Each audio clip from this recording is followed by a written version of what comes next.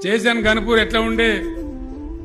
ఇదే నియోజకవర్గంలో మాణిక్యపురం అనే గ్రామంలో చుక్క సత్తయ్య అని చెప్పి పేరు మోసిన ఒగ్గు కళాకారుడు ఉండే. చుక్క సత్తయ్య గారు పేరు మోసిన ఒగ్గు కళాకారుడు. నీళ్ళు పడకపోతే ఆయన యాభై ఎనిమిది బోర్లు వేసిండు పాపం యాభై ఎనిమిది బోర్లు. ఆ బోర్లు వేసుడు ఎంత బాధ? బోర్లు చూపించేదానికి వద్దురు నమా నమూనాల మనుషులు. వాడు కొబ్బరికాయ పట్టుకొని వస్తాడు. వాడు తాళప్సీల గుత్తి పట్టుకొని వస్తాడు. వాడు తంగేడి పుల్ల పట్టుకొని వస్తాడు. ఎన్ని రకాల బాధలు చూసినాం మనం. ఎన్ని అవస్థలు పడ్డాం. ట్రాన్స్ఫార్మర్ కాలితే బాధ అయింది. మోటార్లు కాలితే బాధ అయింది. చుక్క సత్తయ్య పాపం ఆయన ఒగ్గు కథల మీద వచ్చిన పైసలన్నీ ఆ బోరు పొక్కలనే పోసినాడు. యాభై ఎనిమిది బోర్లు ఎత్తే చుక్క నీళ్ళు రాలే.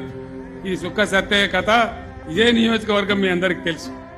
ఇంత ఘోరం ఉండే స్టేషన్ కనుపూర్లో ఎక్కడ కూడా నీళ్ళు లేకుండే.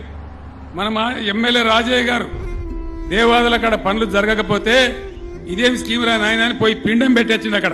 పిండం పెట్టి ఆనాడున్న ప్రభుత్వాన్ని దిగాల మీరు బేకారగాలని చెప్పి అడగపోయి పిండం కూడా పెట్టొచ్చినాం. ఈ విధంగా అనేక రకమైన బాధలుండే. ఆ బాధలన్నీ ఇలా లేవు.